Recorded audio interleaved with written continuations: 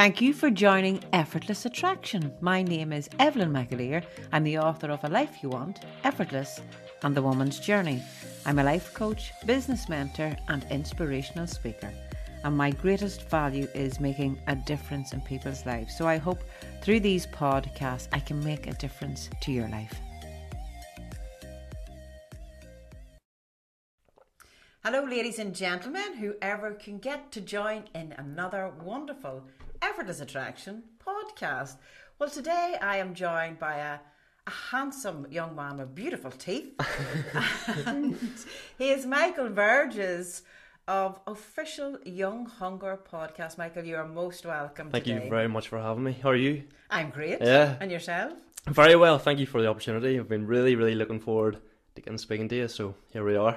Well, it's a bit of a role reversal. You're Yes. normally the person that's interviewing other people for your podcast. Indeed, yeah. It's a bit of a strange one because normally I'm sort of doing the introduction and sort of letting the other person go. So this is a real uh, game changer. This one, Oh, great. Well, Michael's from Comber in County Down. County Down, yeah. There we go. Comber in County Down, and he made his journey up here today. Yeah, the land of the spuds. if you don't know Comber, it's all about the, the, potatoes down The there. potatoes, so the yeah, yeah, yeah, potatoes. yeah. World renowned. So And I first saw Michael. What I've, I've saw his work on Instagram, hmm um, where you're doing you're out doing video pod podcasts with people. yeah, And there's something that's what I love whenever you see somebody on video, how they present themselves, how they talk to other people, and you've just a natural gift about you. So I thought, Yeah. there's a guy that I want to have on my show, and uh, because you've youth on your side, mm. you've great Yeah. teeth. Aye. Shout out to my mum there. She'll be watching this here. She's big. Yeah, she's a dental nurse, so she's always keeping me right that way. Yeah, so Yeah. You're, I said you're a great advertisement for, but you have a natural gift Mm. and uh, a flow with you talking to people. Now, there's a couple of things that I, I'm going to. You've Yeah. actually set a great standard for your podcast. I thought Mm. fair play Yeah. because what is the underlying or who is it that gets on your podcast show? Mm, so, so we we sort of there's before I go any further. There's me. It's not just me. There's my brother, and there's Ross behind the camera. So it is real team effort. And normally, what we do is sit down. Who do we think that we find interesting? That's the number one. We wouldn't do someone that we wouldn't find interesting, um, and then sort of just go from there. It's like we, we don't want to go down one area. We want to go into like. You know, the entrepreneurial, the boxing, the sports, and all sort of High means of life. achievers, people High achievers, yeah, high that we find interesting, and hopefully that the viewers find interesting watching us ask the questions. Well, it caught my attention. Yeah. Actually, you caught my attention more Mm. so than the people you were interviewing. how how come? Do you know what? You kind of reminded me of me a wee bit. Yeah, yeah. See, actually, I, I thought that on the whenever we were speaking on the phone beforehand, I was thinking, flip, it's like nearly talking to a mirror here. Yeah. Yeah. If you were a woman in your 40s, you'd be. Yeah. Yeah. Yeah. It's not a bad excuse. Ah, If I I'll take it. I'll take it. If I was a lad in my 20s, I'd have good yeah. So, no, that's what it is. I thought fair play um, Mm. that you're out. And there has to be, even in doing that, did you ha- you reach out to ask people? There is Yeah. perhaps too the fear of rejection. Are we going to be good enough? Because Yeah. you started the podcast in November 21. I did indeed. Yeah. And uh, so just taking that courage and confidence because what a lot of people see is that someone they set people on a pedestal or they're Mm. out of my reach or Yeah. maybe I shouldn't stretch for that there but you've you've set your target you've achieved Yeah. what you've set out so how do you then step beyond that that fear of rejection we Mm. be good enough Well, that's that's the thing. Like, whenever before the podcast even started, like uh, I was a very shy, quiet kid. I had an older brother, older sister, and to be honest, they sort of did the speaking and talking for me. Yeah. So we never really had to do anything like that. But uh, me and my brother always just had an interest in like how did that person make it? If that makes sense. yeah And we thought, if we want to ask these questions and we want to find out, I'm sure there's other young people looking to find out. So um, we sort of just carried on from there and sort of ended up here right now talking to you. well that's interesting you said when you were younger Yeah. I was shy and I was Yeah. everybody done the speaking for me so how do you get from that to being the man well, that, that's the thing. My mum actually asked me that the other day, and um, I think you just have to keep going. It's the it's the comfort zone. It's pushing past that. See, I think the very first person we did um, is Cathal Hart. Cathal Hart owns. I don't know if you've heard of it. it's Atos now, Custom Cuts and Banter Lounge. He's like a hairdresser. Right. Okay. And uh, whenever me and my brother first started talking about doing the podcast, um, I think it was about seven times we asked him. Yes. We rang him up, asked him, I think about three or four times, went into his shop, asked him three or four times, and he said he would. Yes. But then every time we were going to do it, he says, "Oh, maybe not yet, maybe not now," and uh, took seven times. And that was really normally if I ask a question and I maybe get a rejection, you're thinking, "Nah, just leave it." yeah. It's pushing past that, and I think that like seven times. That was the first one. Uh, Chris Sutter, he was the next one. Flip me—I was into his shop every Thursday, messaging him, ringing him, and I'm sort of like pushing past that. But once you sort of get the first one, you sort of get that here. Just keep going. Just keep going is the main is the main thing. You know, I'm sure you're probably the same with your uh, guests and things. It's not the first time you never really get someone coming on. Yeah. Yeah. You know, it's pushing past one, two, three. Keep nearly be annoying if that makes sense.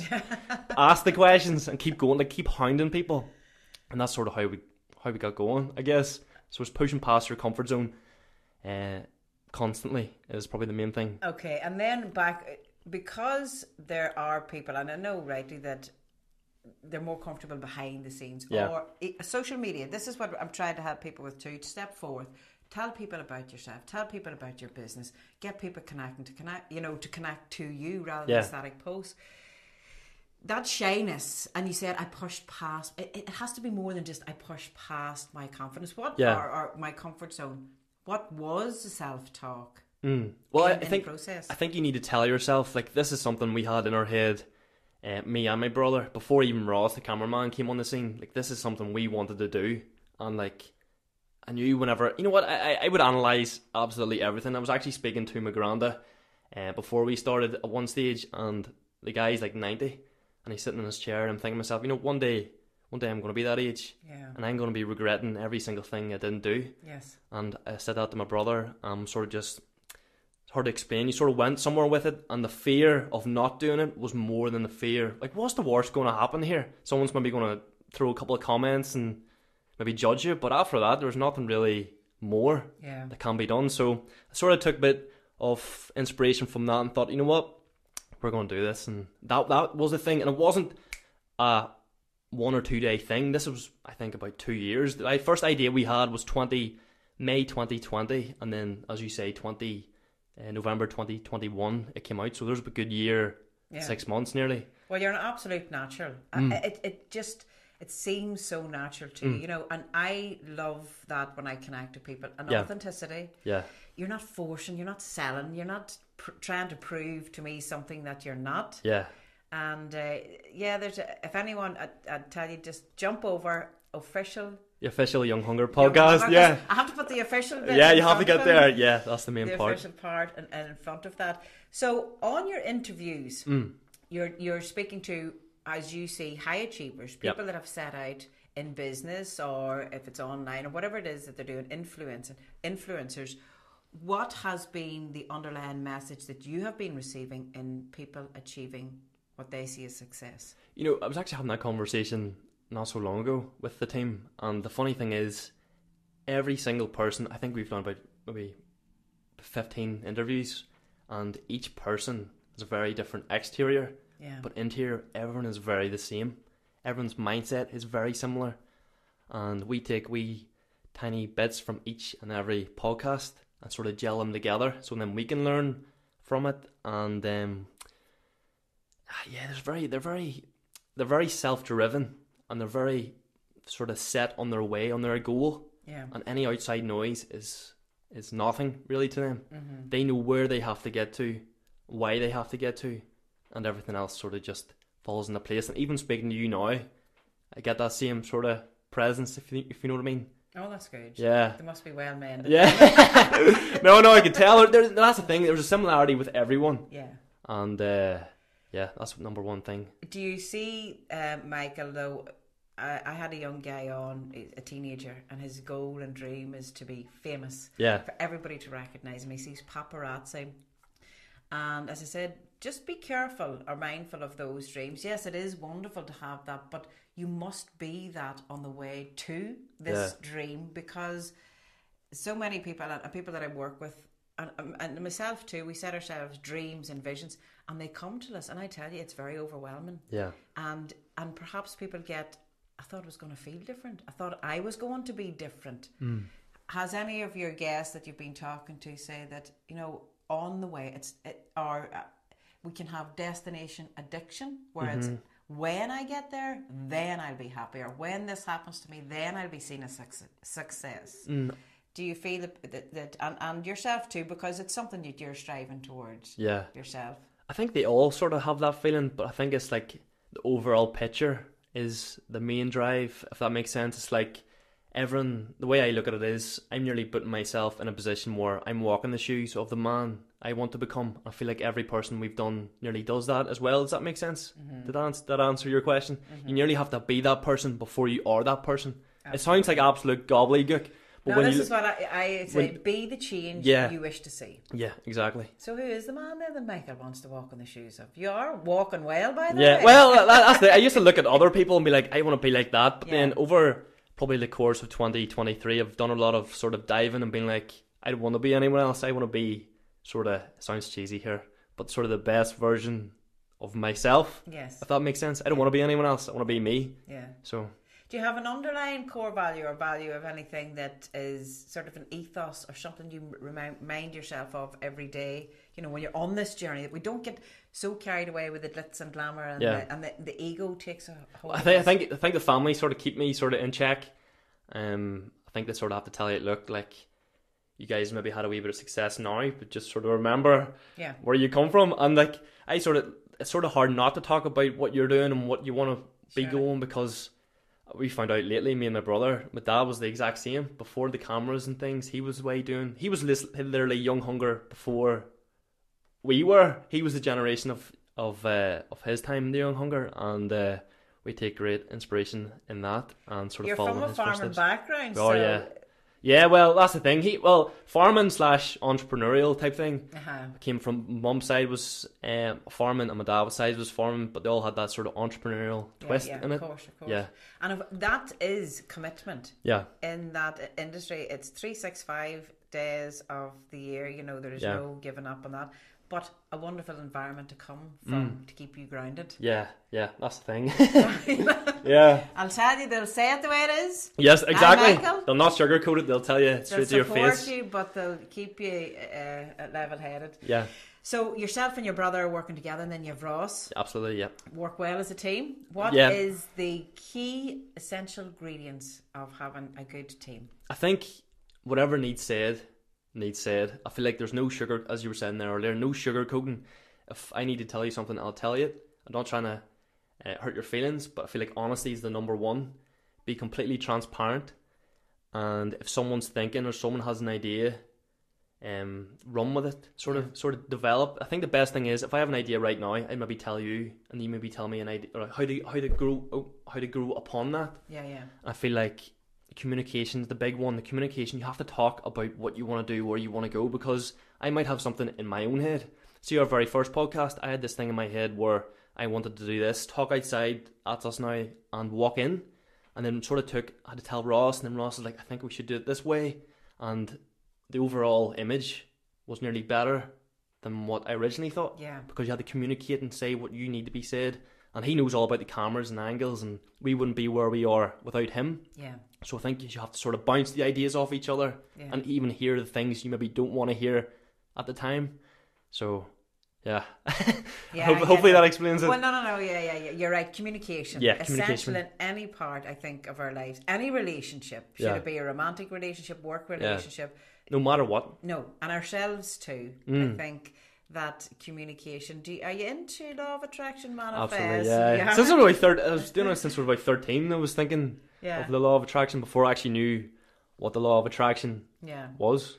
Yeah, well, it's a sort of, you know what? It seems very acceptable for you know.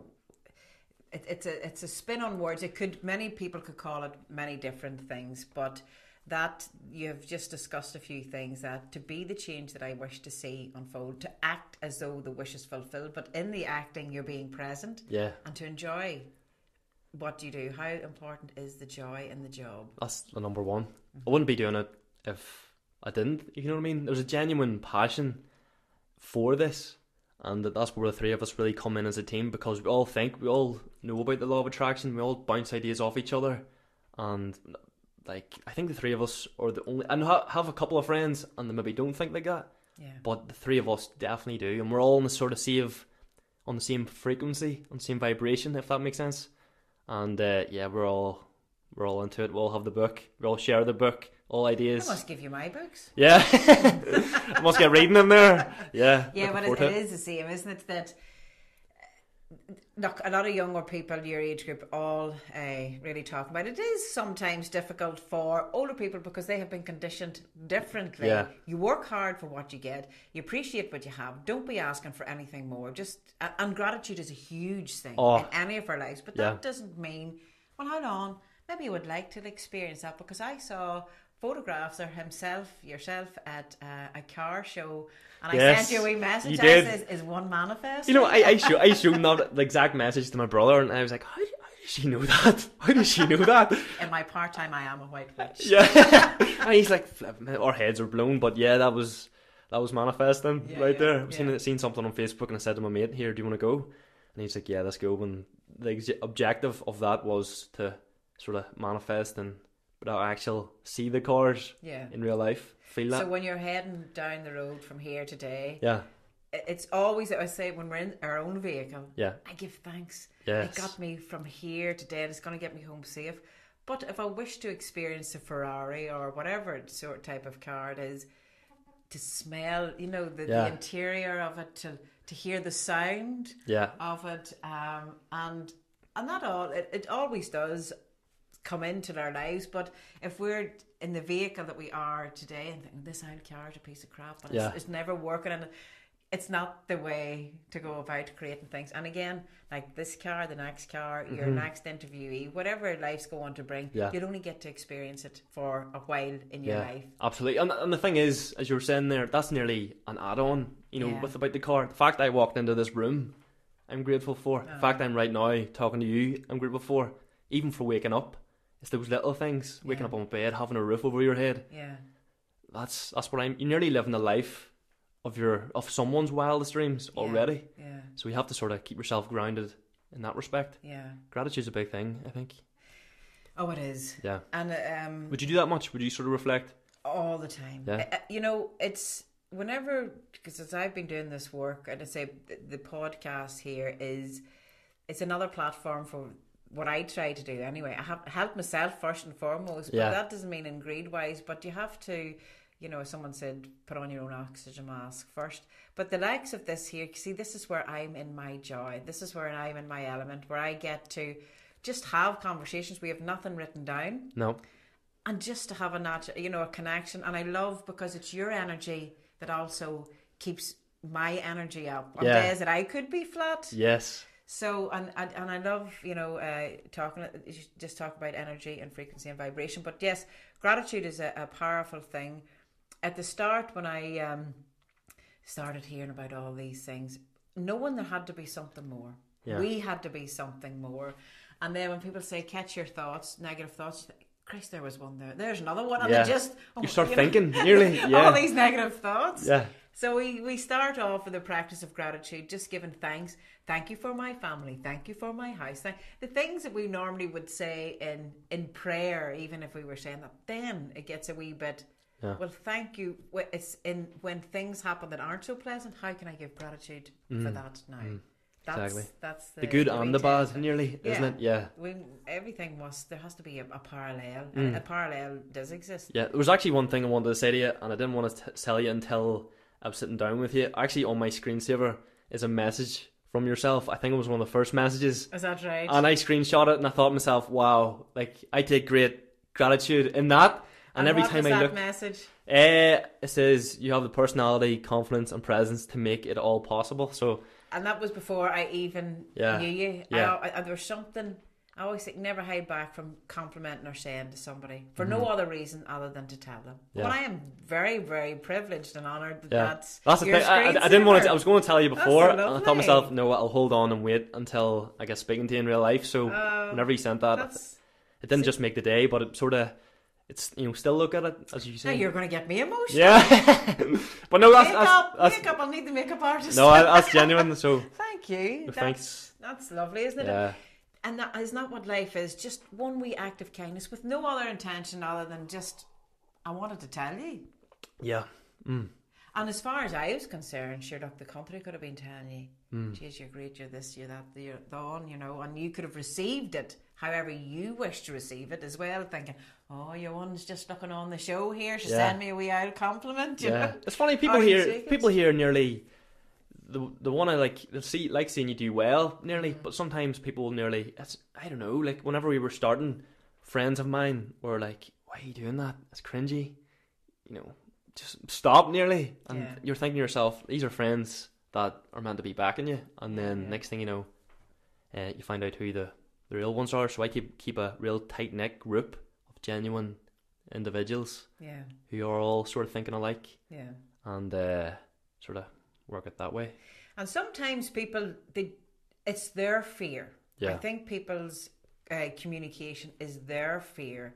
Um, and I know whenever I started doing what I was seen as good friends, and I still, they're there, some road, having this old airy fairy talk. Yes. And that's, but I ended up then, our communication with that particular person, it was all what I call surface level. The price of rice, how's the children, what's the thing, you know, and you couldn't actually have a conversation because the things that I perhaps wanted to speak about, I couldn't go there. Yeah. So it's lovely. Mm. But how, how, how did you feel that? How did you feel when someone said said about the airy fairy stuff? Did you think yourself? Well, I tried not to. I, I, I tried not to get angry. Firstly, I didn't see it as a reflection on myself because perhaps this person that said it to me, they were a big churchgoer. yeah. They were there every turn round, and I wasn't. And I thought, how is this? You know, if I talk about universal energy or a, a God or whatever, but, but not in the biblical sense. I mean, how is this? It confused me. Yeah. But um, I always would see them people as my master teachers. So this person's come into your life. You have to learn how to master patience, Evelyn. And mm-hmm. by God, I was like, right, learn. If you because if that conversation irritates me, it gets on my nerves. I have yet learnt the ability to master patience. So I need them teachers every so often, and it can be try. I Yeah. just think, Evelyn, you haven't mastered patience yet. Yeah, yeah. That's good though. You're nearly you know that too. If you know what I mean. It's, good that you now if everything's not going to go your way No. and dealing with that. Look, people will cross our paths, I think, just for a particular reason. You Mm-hmm. know, maybe that friend was in my life at that time when I needed maybe parties or holidays. That's what that friendship was. Then I changed. Yeah. It's not it's not that the other people change. I changed. So therefore the friendship changed. You Mm. know, and, and it's the same which happens in a lot of relationships, should it be even your family or romantic or work. If you choose to do work on yourself, your energy changes, your vibration changes, your frequency. It's not that your friends change, Mm. you change. Yeah. So just because I have shifted doesn't mean they have to. Mm. And that's the way I see life really Yeah. that way. Your vibe. You were saying there about your vibration. Yeah. Do, how did you sort of come into that? Did you always sort of have that sort of? Um, no, that's a whole that that my first book uh, in that. I mean, you see, what I I knew there was something more. I always knew, but all that we were taught or knew about was God, the man in the clouds with the beard. Yeah. And I thought there has to be more. There has to be more. So through time, and I felt like a complete lone soldier that nobody else. But again, what I realise now, of course, nobody else was talking because uh, I, I was just attracting the same people that was on the same frequency as myself at that time. Um, then I sort of I started looking into quantum physics as well as I'd, be very spiritual, but that doesn't mean religion. Um, and energy wise, and into the scientific end, which I was kind of nervous thinking of all these things that I believed in these years. What if it doesn't exist? But what I realised, and Gregg Braden, and a lot of wonderful Joe Dispenza teachers, they're scientists, these guys, and like they talk the same language as scientific. It's the same language. They might talk about universal or, or the field of infinite possibilities, which is the same as someone might call the word God. Mm-hmm. So it's just get so it, every the message is being delivered from all sources and that sometimes people need proof sometimes people just need feeling sometimes people won't believe but either way we're manifesting 24 7 it's ourselves that is creating our own reality rather Yeah. than reality is making me this way. And if we believe that reality will continue to make you that that mm. way. So that's a short version of my story. But i think we have to get to the we get to a place in our lives where the, either we're down on our knees and we're begging for help. I need, you know, we're in a dark place, mm-hmm. or we have just, which a lot of people have been. They've been broken and they have fell to the depths of despair, and something's come along and it's awakened them, sort of thing, to see different things. Yeah. And then the likes of yourselves, where you get to hang out with people all the time. It's just talking about Yeah. uh, manifesting, and so it's good and it's acceptable and Yeah. it's talking. It's like it talking in the mirror, as- as you were saying. Yeah, Yeah, it keeps yeah. you on a good level. Mm. There you go. You managed to flip that one right. That's the thing. I'm, I'm the one normally answering asking the questions. So strange this way. no, I, I like I like sort of asking the questions that I find interesting, and Yeah. because I know feel like uh, even going to like networking events, there's a whole, whole lot more people think like that than you think, or Yeah. think more like that than yeah. than what you think, and I, I think that's absolutely incredible. I was at a Think Network event there on was it last Friday, and we were standing. There was a couple of us standing, and someone mentioned about the law of attraction, and for the first time ever, everyone was like agreeing and, Yeah. and nodding, and I was like, "This this is nuts here." Yeah. Like normally, if you say that, you're weird, or what are you doing? Yeah. But like, And it goes deeper and goes, you know, bigger than that also, you know, Yeah. the law it. But it's, I think people will take an understand of words that they can compute that's understand, that's acceptable, Yeah. acceptable words, you know. Mm. Um, and it's a, a fascinating, like, I mean, I I listened to something there last night. Gregg Braden was talking about, and to me, it makes perfect sense. Mm. To someone else, if I was having the conversation that I heard last night, it would sound strange. yes, So law of attraction is acceptable. Manifesting is acceptable. Those words um, now, but Mm. as you say, look, we're here for a certain period of time. You you, you reflected on your grandfather the other night and, Yeah. and thinking, I am going to be there one day, hmm and I don't want regrets in my life, and I'm going to choose great experiences, and hopefully, and through that, wonderful people and opportunities are going to step into your life, Yeah. Michael Mm. and you are I say for me as a, a, a woman in her late 40s looking at your work and thinking isn't that fabulous you know what you're doing? I'm quite sure that you inspire a hell of a lot of other people. So i'm going to leave you with the last words here. Okay, somebody um, that really wants to step up, create their own business, um, and because by the way, sorry, quite a lot of they say like seventy percent is a quite a high percentage of podcasts fail within the first couple of years because people have these expectations and want these things to happen, but it's your passion and your love, which you mentioned there a while Yeah. ago. Someone wants to start their business. Someone wants to do something. Um, and their friends, uh, like you say, they're for you, they're not for you. What's the best advice you say? Come on, let's do this. just start. Just just do it. Just uh, just for the worst thing that can happen is maybe a few e comments here and there, but the real friends will stand by you. And if you want to start, just start. There's absolutely nothing holding you back. Yeah. If you think about it, what what is stopping you? It's all in your mind. You know what I mean? Yeah. Just just start, and then maybe don't focus on the views or the or uh, the likes or anything like that. Focus on the content, and the views and likes will Yeah. come. Yeah. And that's exactly what we did. And we, we don't want we don't even look at the views and likes. We focus on what we're putting out and how can we provide value in your life. Yeah. You were saying there. Hope, hopefully, we've sort of give value to someone else. Yeah. Even the way my brother said, I think there was one or two. Um, maybe on the first podcast, my, I was like, I said to my brother, the, the self doubt was coming in. This is all new, and I was saying to him, like maybe like people laughing at us, and, and my brother says, even if this podcast helps one person, your job is done. Yeah. And he told me that this is where it's good Yeah. to sort of communicate and Yeah. reflect. And I thought to myself, it was nearly like a, a light bulb moment. Yeah. He's right. Yeah.